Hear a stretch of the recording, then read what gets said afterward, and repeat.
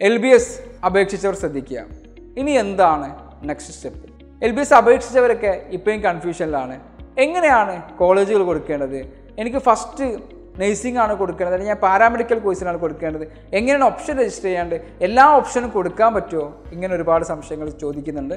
ആ ചോദ്യങ്ങൾക്കുള്ള മറുപടിയാണ് ഈ വീഡിയോ എന്ന് പറയുന്നത്. എൽ ബി എസിന്റെ ഷെഡ്യൂൾ പ്രകാരം നിങ്ങൾക്ക് എന്തെങ്കിലും അപേക്ഷ കൊടുത്തപ്പോൾ അതിൽ അപാകതകൾ ഉണ്ടെങ്കിൽ അത് പരിഗണിക്കുന്ന ഡേറ്റ് ഇരുപത്തി ആറ് ആറ് രണ്ടായിരത്തി ഇരുപത്തിനാല് മുതൽ ജൂലൈ രണ്ടാം തീയതി വരെ ആയിരിക്കും. ഇതിന്റെ ഡീറ്റെയിൽസ് അടങ്ങിയ വീഡിയോ ഞാൻ വേറെ ചെയ്തിട്ടുണ്ട്. ഐ ബട്ടൺ ഒന്ന് ക്ലിക്ക് ചെയ്ത് കഴിഞ്ഞാൽ ആ വീഡിയോ കാണാൻ പറ്റും. അതിനെക്കുറിച്ച് കൂടുതൽ അറിയാനുള്ള ആളുകൾ. പിന്നീട് ഈ വെരിഫിക്കേഷനൊക്കെ ശേഷം എട്ടാം തീയതി ഏഴാം മാസത്തിൽ എട്ടാം തീയതി ജൂലൈ എട്ടാം തീയതി ഇതിന്റെ പ്രൊവിഷണൽ റാങ്ക് ലിസ്റ്റ് പ്രസിദ്ധീകരിക്കും. പത്താം തീയതി ഫൈനൽ റാങ്ക് ലിസ്റ്റ് പ്രസിദ്ധീകരിക്കും. ഈ ഫൈനൽ റാങ്ക് ലിസ്റ്റ് പ്രസിദ്ധീകരിച്ചതിന് ശേഷം എന്താണ് സംഭവിക്കുക?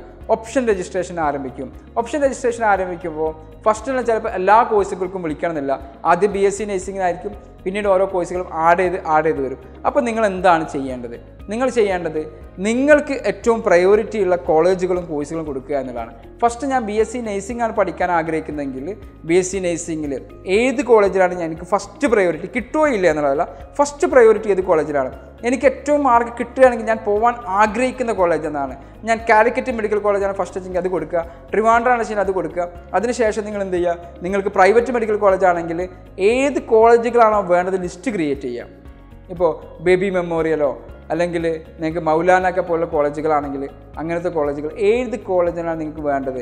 ആ കോളേജുകളുടെ ലിസ്റ്റ് നിങ്ങൾ പ്രയോറിറ്റൈസ് ചെയ്യാം. ഫസ്റ്റ് മുതലേ പ്രയോറിറ്റൈസ് ചെയ്തിട്ട് അത് താഴേക്ക് താഴേക്ക് കൊണ്ടുവരിക പിന്നീട് പാരാമെഡിക്കൽ കോഴ്സുകൾക്കാണ് പ്രാധാന്യം പാരാമെഡിക്കൽ കോഴ്സ് കൊടുക്കുക. ഇനി ഒരു കുട്ടിക്ക് നേഴ്സിങ്ങിന് താല്പര്യമില്ല പാരാമെഡിക്കൽ ആണെങ്കിൽ ആ കുട്ടി എന്ത് ചെയ്യണം? പാരാമെഡിക്കൽ കോഴ്സുകൾ ഫസ്റ്റ് കൊടുക്കണം. ഒരു കാര്യം പ്രത്യേകം ശ്രദ്ധിക്കുക. നിങ്ങളൊരു മുപ്പത് ഓപ്ഷൻസ് കൊടുത്തെന്ന് കരുതുക. മുപ്പത് ഓപ്ഷൻസ് കൊടുക്കുമ്പോൾ നിങ്ങൾക്ക് പതിനഞ്ചാമത്തെ ഓപ്ഷനാണ് കിട്ടിയിരിക്കുന്നത് വെച്ചെങ്കിൽ ബാക്കിയുള്ള പതിനഞ്ച് ഓപ്ഷൻ ലാപ്സ് ആയി പോകും. പിന്നെയുള്ള പതിനഞ്ച് ഓപ്ഷൻസ് നിങ്ങൾക്ക് പിന്നീട് ജോയിൻ ചെയ്യാൻ സാധിക്കില്ല.